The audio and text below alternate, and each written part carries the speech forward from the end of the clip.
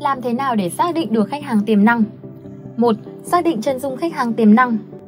Gợi ý 6 đề mục để xác định chân dung khách hàng.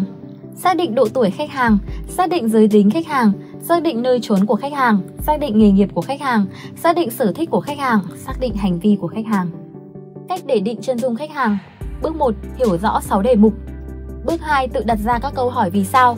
Bước 3. Trả lời các câu hỏi. Bước 4.